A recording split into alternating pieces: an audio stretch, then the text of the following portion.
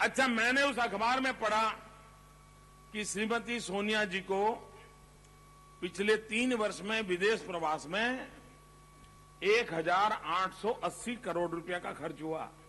कितना? याद रहना मुश्किल है, इतना बड़ा फिगर है। एक हज़ार आठ सौ अस्सी करोड़, कितना? यानी करीब करीब दो हज़ार करोड़।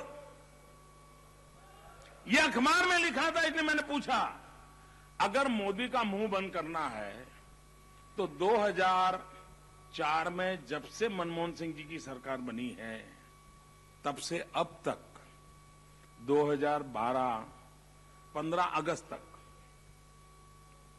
मैडम सोनिया जी कितनी बार विदेश गई, किस प्रकार से गई, कहाँ रही, और अगर उसका खर्चा उनके व्यक्तिगत जीवन से हमें कोई लेना देना नहीं। अगर उसका खर्चा,